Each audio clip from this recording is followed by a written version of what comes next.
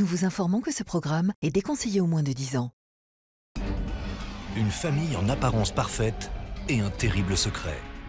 Ses clients étaient des gens importants avec de très gros moyens. Elle en savait trop. Elle représentait un danger. Un plan machiavélique révélé au grand jour. Ceux qui avaient fait ça savaient ce qu'ils faisaient.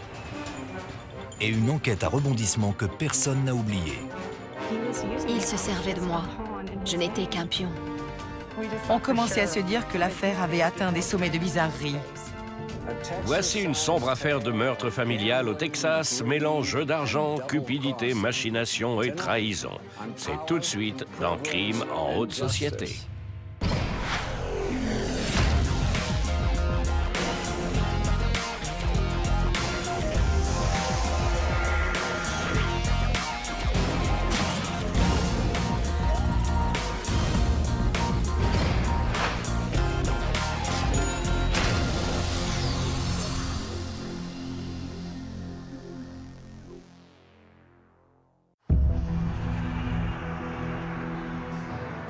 Le 16 avril 1997, à Houston, au Texas. Aux environs de 21h, Bob Engleton et ses filles rentrent chez eux à vive allure après un match de baseball. Bob s'inquiète pour sa femme Doris. Il avait demandé à sa femme de retourner à la maison chercher la batte de baseball fétiche de leur fille pour le match. Mais Doris n'était jamais revenue les rejoindre. Il s'était inquiété et il ne savait pas où elle se trouvait. Et il avait peur qu'il lui soit arrivé quelque chose. Doris Engleton est une mère dévouée qui ne manque aucun événement de sa vie de famille. C'était une femme très joyeuse, très énergique. Elle était insouciante. Elle aimait la vie et surtout, elle adorait les gens. La voiture familiale arrive enfin devant la maison du quartier de River Oaks. La voiture de Doris est garée devant et la porte est ouverte. Pourtant, Doris ne répond pas au téléphone. Les filles commencent à paniquer dans la voiture. Elles avaient peur qu'un cambrioleur soit dans la maison et refusaient que leur père y entre et prenne le risque d'être agressé. Écoutant ses filles, Bob Engleton fait marche arrière et décide d'alerter la police. I'm at my residence. Uh, back door is ajar. My wife, to my best knowledge, Kate was home. I'm getting no answer in the car, in the house. I have children with me in the car. What do I do? Okay, just hold on. What's your last name? Angleton, A-N-G-L-E-T-O-N. My children are sitting here telling me they want, don't want me to go in the house. They don't? What, what, um, Let me get somebody out there, Mr. Uh, uh, Angleton. I'll get someone out there. please. Bye-bye. Bye. L'agent de patrouille Kevin Carr arrive quelques minutes plus tard. Monsieur Engleton m'a dit « Allez voir à l'intérieur, il y a un truc qui cloche. Ma femme ne répond pas alors que sa voiture est là et que la porte est ouverte. Il faut que vous y alliez. L'agent de police s'approche de la porte de derrière. Il y avait quatre marches au bout du couloir qui menaient à la cuisine. C'est quand j'ai atteint le palier que mon pied a tapé dans une douille et l'a envoyé rouler sur le carrelage. J'ai baissé les yeux et c'est là que j'ai vu le corps gisant par terre. La victime semble avoir reçu plusieurs balles dans la tête et le haut du corps. J'ai cherché à sentir son pouls, en vain. Dehors, le mari et les enfants de Doris pensaient que tout finirait bien. Mais à l'intérieur, un drame horrible avait déjà eu lieu. Tomber sur une scène de crime pareille a dû être dur, même pour un officier de police expérimenté. C'était un véritable bain de sang. Je suis allé informer M. Engleton que sa femme était bien là. Il m'a demandé comment elle allait et j'ai dû lui annoncer sa mort. Et là, il est parti en courant dans le jardin, les bras en l'air, en poussant des hurlements. Les enquêteurs pensent d'abord avoir affaire à un cambriolage qui aurait mal tourné. Mais les circonstances sont troublantes. Il n'y a pas de traces d'effraction, le système d'alarme a été désactivé et la maison n'est pas en désordre. Il n'y avait aucune trace de fouille, de tiroirs ouverts, rien du tout. Le coffre-fort à l'étage n'avait pas été forcé et contenait toujours des bons porteurs. La police pense que Doris a été abattue à son arrivée chez elle. Elle avait dû être surprise dans le couloir d'entrée à son arrivée ou en partant. D'après la scène de crime, elle avait passé la porte d'entrée, posé son sac sur un meuble à droite, puis traversé le couloir en direction de la cuisine où l'agresseur l'avait abattue. Après avoir examiné les impacts de balles sur le corps de la victime, les policiers pensent avoir vu juste. Apparemment, les deux premières balles l'avaient mise à terre. Elle avait reçu les dernières balles en pleine tête, alors qu'elle était déjà au sol. La police retrouve 13 douilles de calibre 22. Le tueur s'était littéralement acharné. Il lui avait vidé son chargeur dessus, juste pour être sûr. Après l'analyse des trajectoires, la police conclut à la présence d'un seul tireur, armé de deux pistolets. D'après les angles de tir, s'ils avaient été deux, ça aurait voulu dire qu'ils se trouvaient face à face avec la victime entre eux. Même si la police interpelle un suspect, ses experts balistiques sont dans l'impasse. Les munitions utilisées pour tuer Doris étaient des balles dum-dum. Les douilles étaient complètement éclatées et ne comportaient aucune strie exploitable. La police scientifique passe tout le domicile au peigne fin à la recherche d'empreintes digitales ou de pas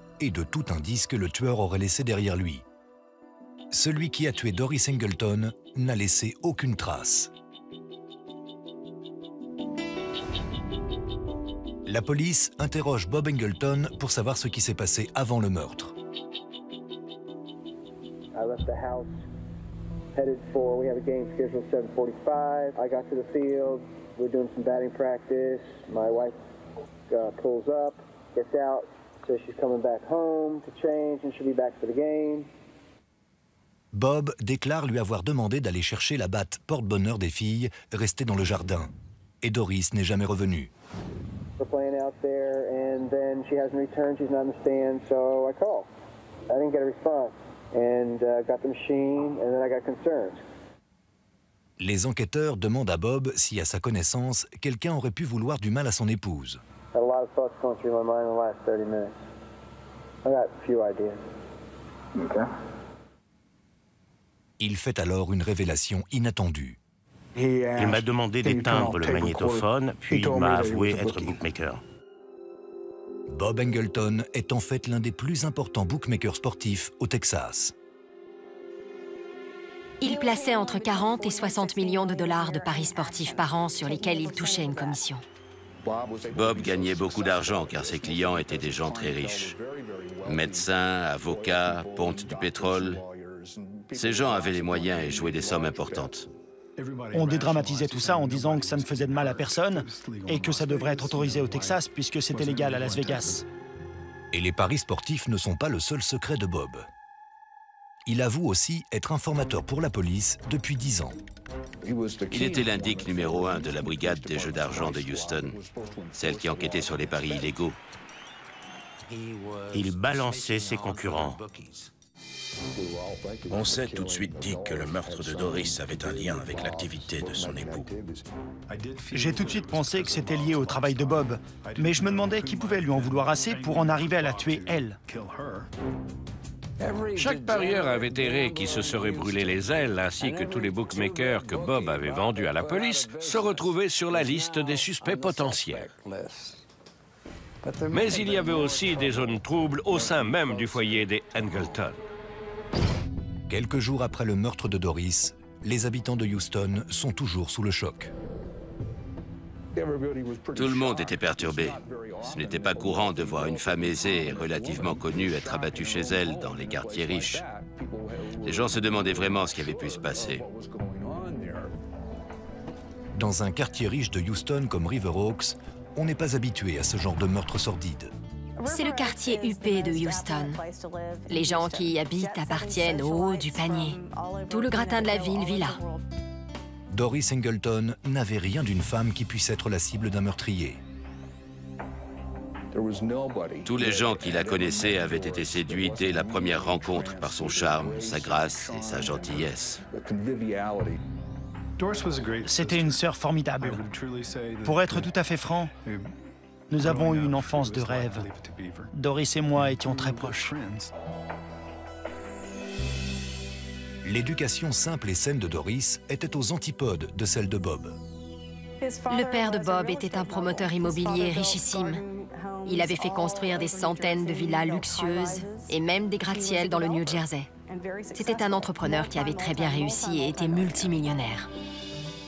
Doris et Bob sont déjà mariés quand ils se rencontrent.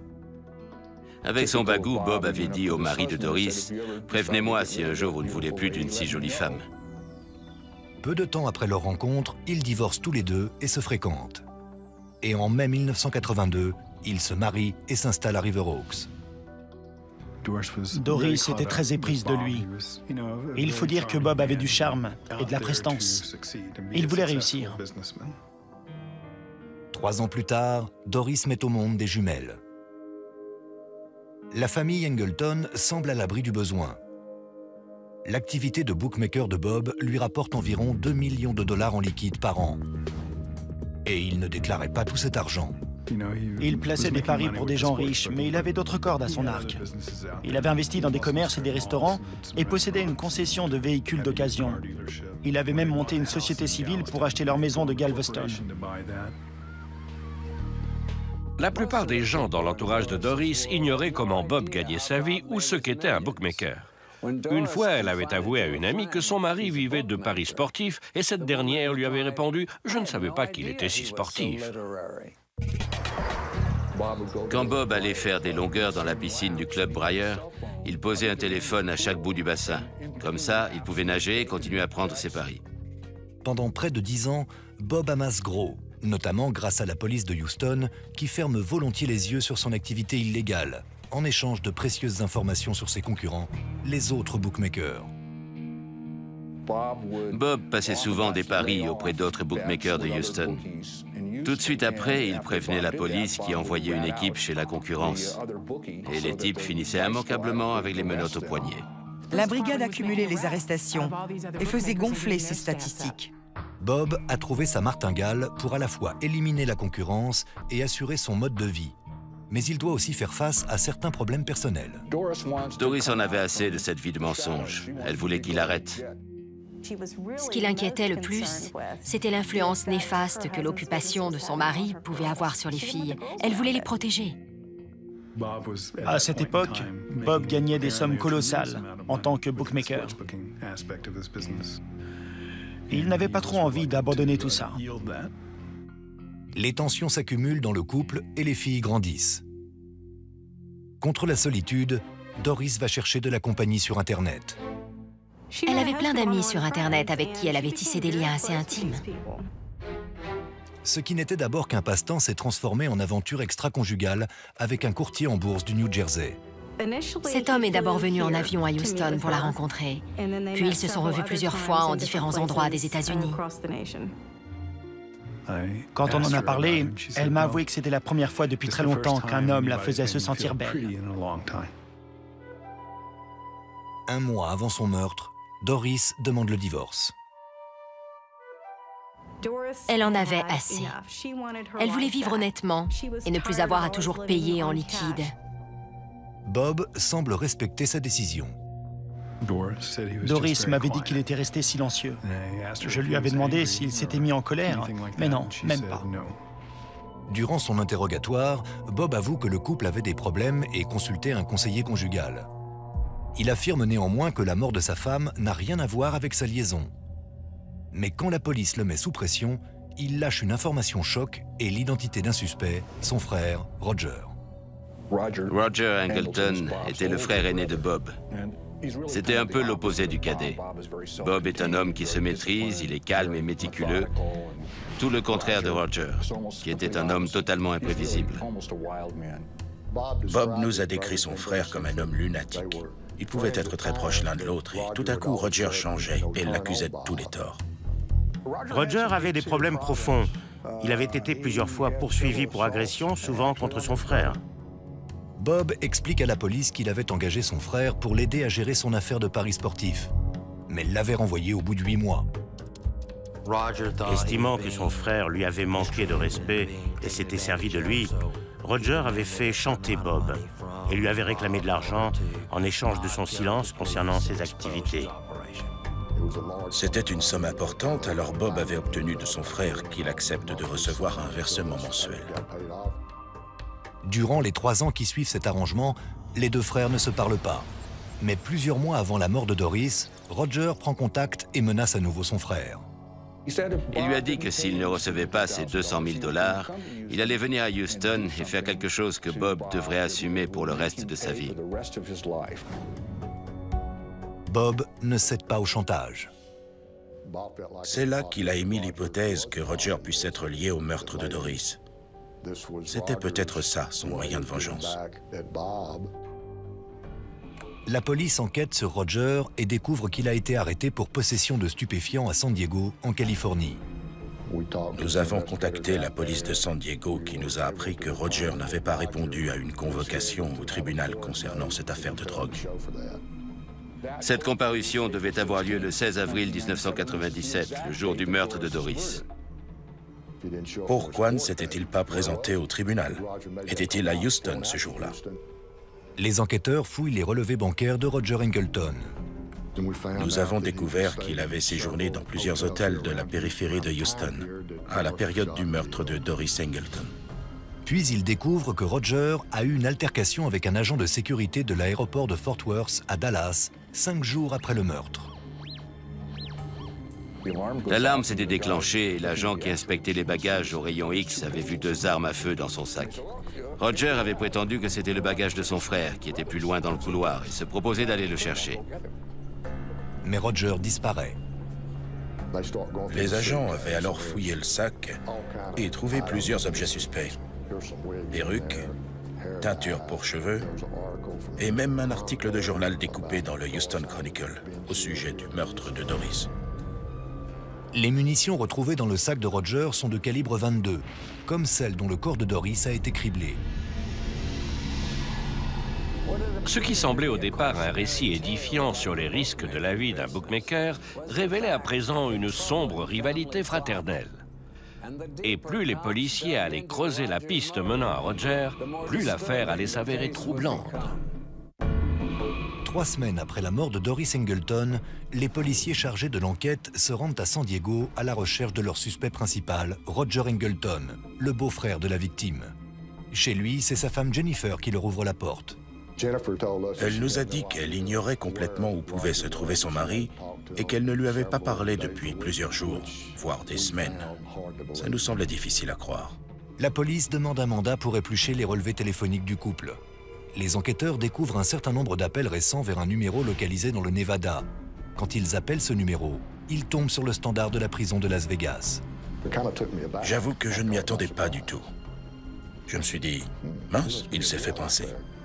Les enquêteurs apprennent que six jours après le meurtre, Roger a pris une chambre dans un motel de Las Vegas en utilisant une fausse pièce d'identité. Le réceptionniste, observateur et soupçonneux, avait prévenu la police. La police était intervenue pensant avoir affaire à un vulgaire dealer de drogue. En vérifiant son identité, les policiers avaient découvert qu'il ne s'était pas présenté devant le tribunal de San Diego et l'avaient arrêté. Quand les agents de police fouillent les affaires de Roger, ils comprennent que quelque chose cloche. Il y avait 64 000 dollars en petites coupures, agrafés ensemble et cachés dans la doublure de sa veste. La police de Las Vegas saisit les éléments qu'elle découvre durant la perquisition, notamment les objets suspects contenus dans une mallette, une cassette et plusieurs notes dactylographiées. Des codes de système d'alarme, un digicode de portail. Les policiers de Las Vegas ne s'en doutent pas, mais ils ont sous les yeux le scénario détaillé du meurtre de Doris Engleton. Les notes mentionnaient l'heure de début du match des filles, le mercredi à 19h45 et le retour de Doris à la maison. Toutes les notes décrivent la maison des Engleton, ainsi que l'emploi du temps des filles et de leur mère. Une note en particulier attire l'attention. Le ton est différent. On y lit que Roger affirme avoir passé un contrat avec Bob et mentionne les termes « tué en toute discrétion ». La note stipulait aussi que Bob devait verser 100 000 dollars à Roger par an pendant 10 ans. Leur contrat allait lui coûter 1 million de dollars. Les enquêteurs confrontent Roger aux preuves. Nous avons essayé de le convaincre de passer à table et de nous dire pourquoi il avait tué Doris, s'il avait agi seul, si Bob l'avait engagé pour ça, et si oui, pourquoi. Et là, il a répondu qu'il était prêt à parler, mais qu'il avait beaucoup de choses à dire. Selon lui, l'affaire était très compliquée et il n'acceptait de parler qu'à condition qu'on le ramène à Houston. Roger pensait certainement qu'il tenait là un moyen de marchander. Mais avant qu'il n'ait pu ouvrir la bouche, les cassettes recueillies dans sa mallette avaient déjà commencé à l'accabler.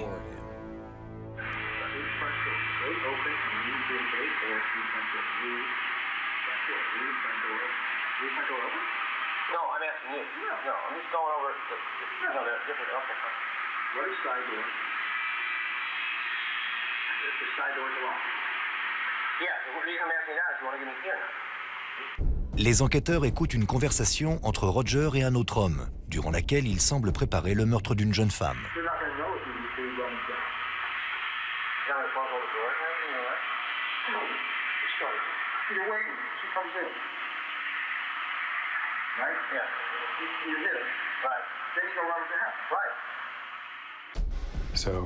Il pouvait donc entrer dans la maison, désactiver l'alarme, refermer la porte, réactiver la sécurité et attendre Doris.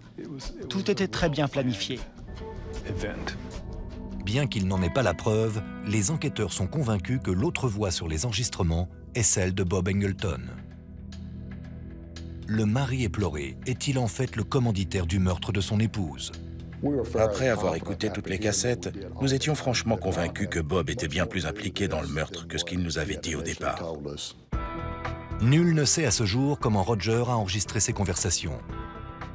Quoi qu'il en soit, en cherchant si Bob a un mobile plausible, les enquêteurs découvrent qu'il risquait gros en cas de séparation.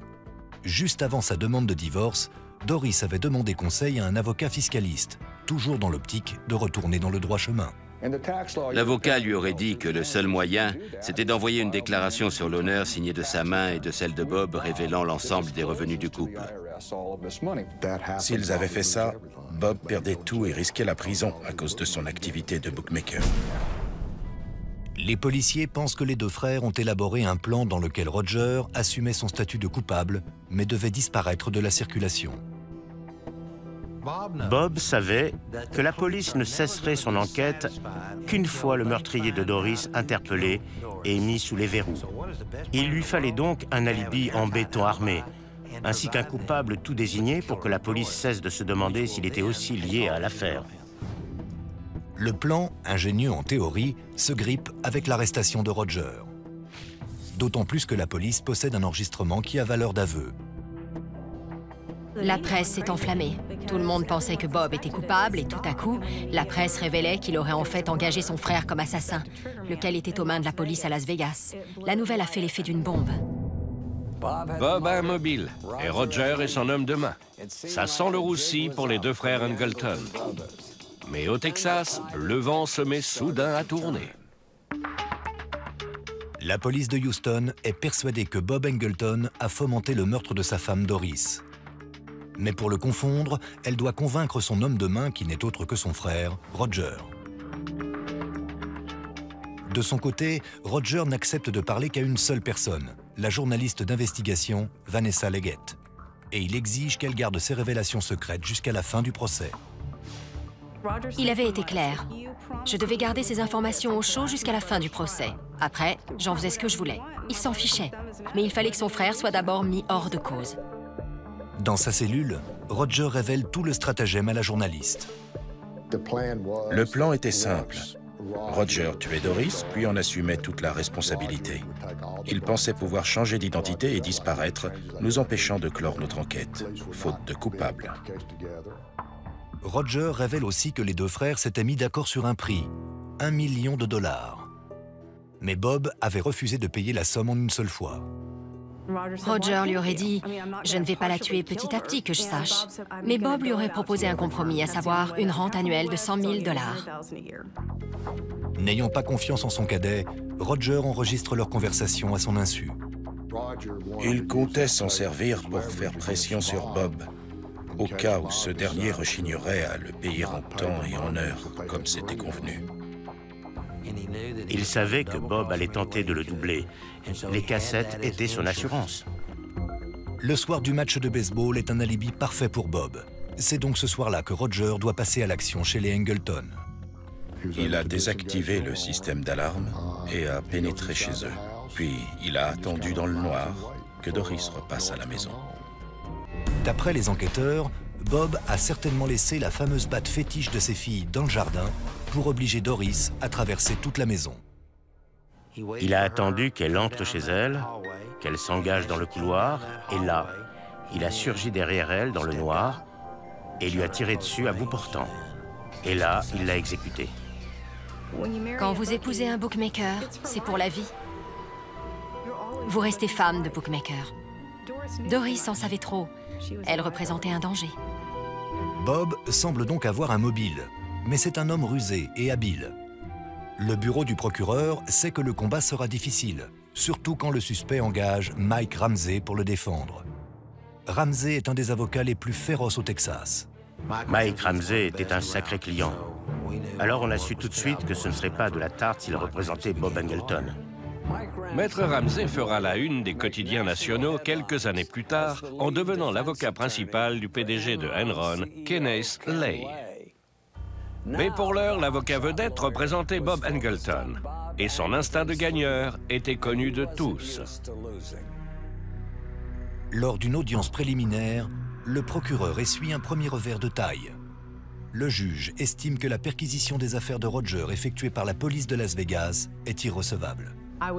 Cette vidéo est à montrer dans toutes les écoles de police. Ce que fait cet agent est totalement illégal et je savais que ça nous coûterait cher. Les cassettes et les notes, pourtant accablantes, sont inutilisables contre Roger devant la cour. En revanche, le procureur pourra les présenter contre Bob, même s'il sait que la partie est loin d'être gagnée. Alors Lynn McClellan a tenté un coup de poker. Il est allé voir l'avocat de Roger et lui a proposé que son client témoigne contre Bob, en échange de quoi le bureau du procureur lui accorderait l'immunité. Sans ces cassettes, nous n'avions rien et Roger risquait d'être relaxé. Mais j'avais besoin de son témoignage pour monter le dossier contre Bob. Roger refuse l'accord. Il a déjà une autre échappatoire en tête. Nous avons reçu un appel de la prison. C'était un samedi matin, je crois, le 6 février 1998. Roger s'était suicidé dans sa cellule. On pensait qu'on était sur les bons rails et coup de tonnerre, toute notre stratégie s'écroulait. Quand Roger s'est donné la mort, tout notre dossier s'est effondré. Sans lui, je ne voyais pas trop comment présenter un dossier solide devant le tribunal. Roger s'est tailladé 55 fois les poignets dans sa cellule avec une lame de rasoir. Roger avait laissé une note. C'était une sorte d'ultime confession. Il y avouait avoir tué Doris Angleton et que Bob n'avait rien à voir là-dedans. Tout le monde savait que c'était des conneries. On commençait à se dire que l'affaire avait atteint des sommets de bizarrerie. Les avocats de Bob s'empressent d'affirmer que cette note posthume innocente leur client. Mais les services du procureur ne se laissent pas impressionner. Ça ne faisait pas de doute. Cette note était là pour nous détourner de la vérité. C'était un leurre censé dévier l'enquête dans la mauvaise direction. Vanessa Leggett pense également que Roger a agi ainsi afin de protéger son jeune frère. Dès que Roger a senti qu'il ne pouvait pas s'en tirer tous les deux et que Bob avait le plus de chances d'échapper à la justice, il a choisi de se sacrifier pour assurer la liberté de son cadet.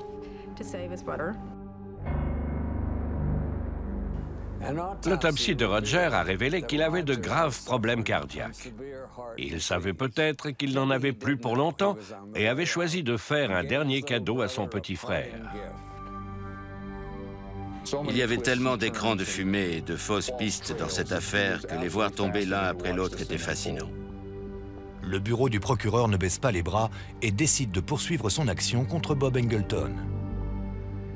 L'accusation place tous ses espoirs sur les enregistrements de mauvaise qualité de Roger. Un expert analyse la voix de l'autre homme sur les cassettes et la compare à une série de phrases que la police a demandé à Bob d'enregistrer. Il m'a dit mauvaise nouvelle. J'ai répondu, dites toujours, on verra bien. Et là, il m'a dit qu'il était sûr à 80% que la voix n'était pas celle de Bob. L'accusation avait d'abord cru que la victoire était assurée, mais elle se retrouvait sur des sables mouvants. Le procureur ne comptait pas baisser les bras pour autant. Au mois de juillet 1998, 15 mois après le meurtre de sa femme, Bob Engleton entre dans une salle d'audience bondée du palais de justice de Houston. Nous avons tout fait pour centrer le débat sur Bob, afin d'éviter les discussions d'experts autour de la qualité des bandes, et pour que la défense ne noie pas le poisson. L'accusation affirme que la seule personne ayant un mobile évident pour vouloir la mort de Doris n'est autre que son époux. Si on suivait l'argumentaire de la défense, c'était limpide. D'après eux, Roger avait fait un fantastique cadeau à son frère sans s'en douter. Avec son divorce, Bob risquait de passer devant un juge, de devoir déclarer ses revenus réels aux impôts et de reconnaître ses activités illégales au FBI. Et comme par magie, Roger revenait dans sa vie et tuait sa femme. Il lui avait enlevé une grosse épine du pied. Malgré les conclusions des experts de l'accusation affirmant à 80% que ce n'est pas Bob qui parle sur les enregistrements, le procureur présente les cassettes à la cour et au jury. Il affirme que la seule personne à qui Roger aurait pu parler de tout ça, c'est Bob. À un moment, ils disent vouloir maquiller ça en cambriolage et dérober l'alliance de la victime. Et on entend la voix qui, pour moi, est celle de Bob, dire « Non, ne lui tranche pas le doigt ».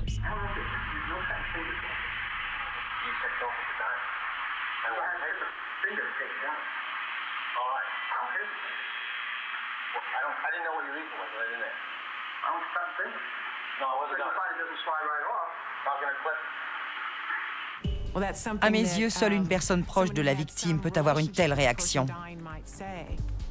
On a tous notre façon de parler, un rythme, un débit de parole, des intonations spécifiques. À mes yeux, ça ne faisait pas de doute. C'était la voix de Bob. Ailleurs, dans les enregistrements, les deux hommes se demandent quoi faire de la chienne.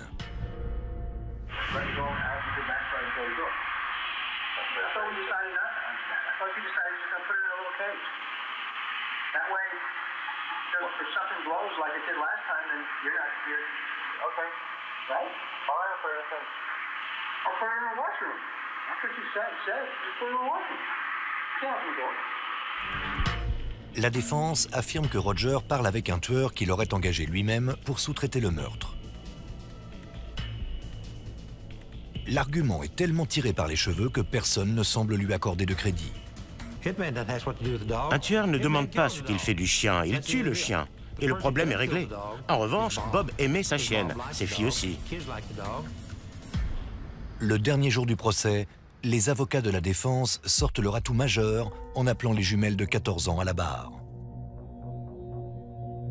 Nous savions que les petites allaient dire devant la cour que cette voix n'était pas celle de leur père.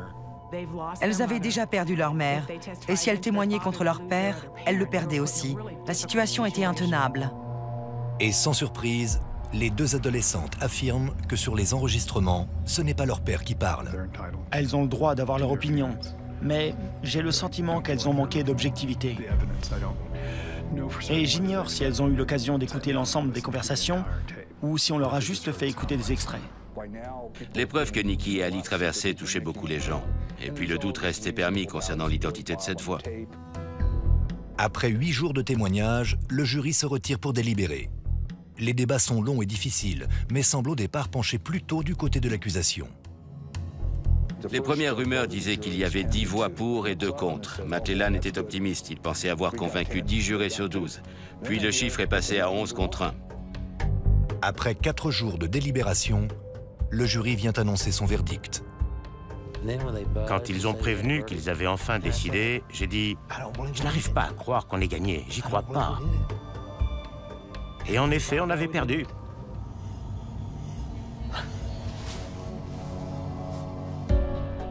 Le jury est arrivé et quelques instants plus tard, Bob était déclaré non coupable. Comme ça, j'étais sous le choc. On était tous abasourdis. J'étais sonné. Je n'arrivais pas à croire ce qui venait de se passer. Je n'en reviens toujours pas d'ailleurs. Nous n'avions fait honneur ni à la justice, ni à la mémoire de Doris Angleton. J'avais déjà perdu des procès, mais c'était la première fois que ça me marquait autant. Le public n'y croyait pas. Tout le monde pensait que les deux frères étaient impliqués. Deux mois après le procès, Bob accepte de verser 1 700 000 dollars à l'administration fiscale. De son côté, le FBI poursuit son enquête et le maintient sous surveillance dans l'espoir d'un faux pas ou d'une reprise de son activité illégale. Le jeu faisait partie de Bob. Il devait gagner sa vie et maintenir son train de vie. Et être bookmaker était la seule chose qu'il savait faire. Le FBI ouvre une enquête d'ampleur sur ses activités liées au jeu d'argent. Et Bob s'avère incapable de se tenir à distance de ses démons. Nous avions amassé des preuves qui confirmaient que les activités illégales passées et présentes de M. Robert Engleton étaient susceptibles d'intéresser les autorités fédérales.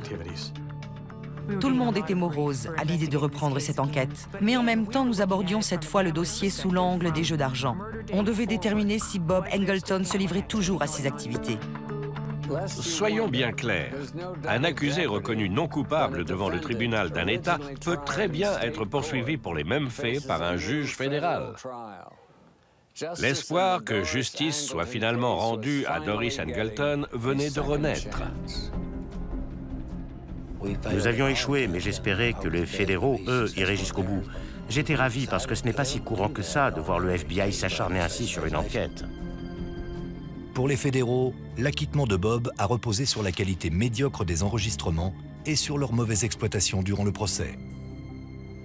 Les bandes avaient été passées sur un appareil portatif pendant le procès. On ne distinguait pas la moitié de ce qui était dit. Le FBI confie les enregistrements à son expert maison, le laboratoire a fait des miracles. L'expert a numérisé les bandes pour en améliorer la qualité. Et en se basant sur l'accent et le vocabulaire de la fameuse voix mystère, il en a déduit que tout indiquait que c'était Bob Engleton. Le FBI convoque également Vanessa Leggett. Elle avait interviewé tous les témoins du dossier et enregistré leurs déclarations. Il était nécessaire que nous sachions ce qu'elle savait et surtout si elle était en possession d'informations qui étaient inconnues de l'instruction lors du premier procès. Vanessa Leggett refuse de coopérer. Pas question. Je ne pouvais pas trahir la confiance des gens qui avaient accepté de me parler. Certaines de ces personnes m'avaient avoué être réellement terrifiées. Elle a invoqué la protection de ses sources en tant que journaliste et a refusé de nous confier ses enregistrements. Vanessa Leggett est condamnée pour outrage à la cour et jetée en prison. Je n'avais pas vraiment le choix, alors je n'ai pas mis beaucoup de temps à prendre une décision. Il me fallait juste accepter de bafouer mes principes déontologiques. L'ironie de l'histoire, c'est qu'alors que Leggett est enfermé dans la prison fédérale de Houston, Bob Engleton, lui, est un homme libre. La rétention pour outrage a un seul but, vous avoir à l'usure. Dans ces cas-là, on vous dit souvent que vous détenez la clé de votre propre liberté. C'est intenable. Six mois plus tard, Vanessa Leggett est libérée. Le procureur fédéral décide de se passer de ses enregistrements et de poursuivre son instruction. Bob Engleton est écroué et accusé d'association de malfaiteurs, d'instigation de meurtre et de possession illégale d'armes. Nous pouvions faire peser ces charges contre lui parce qu'il avait fait venir Roger d'un autre État, la Californie, pour commettre un meurtre pour lui. Le procès doit avoir lieu à Houston, mais juste avant son ouverture, Bob Engleton prend la poudre d'escampette et l'enquête fédérale prend tout à coup une dimension internationale dramatique. Six ans après que Doris Engleton ait été froidement abattue, son époux est accusé de son meurtre. Une audience était programmée pour le 12 juin à 9h devant un juge du tribunal fédéral. Nous étions tous présents à l'heure et nous n'attendions plus que M. Engleton. Les deux procureurs sont entrés et tout le monde a compris qu'il y avait un problème. Et là, ils nous ont dit, il s'est envolé. Le choc, on n'en revenait pas. Profitant du manque de vigilance de ses avocats, Bob Engleton a vidé son domicile, pris la fuite et disparu. Nous ne craignions qu'une chose, c'est qu'il parvienne à rejoindre la Grèce. Sa famille était originaire de ce pays. S'il avait la double nationalité, il y avait un risque que la justice grecque refuse toute demande d'extradition. Par chance, la cavale internationale de Bob ne va durer que quelques heures. Son faux passeport lui vaut une arrestation à l'aéroport international d'Amsterdam.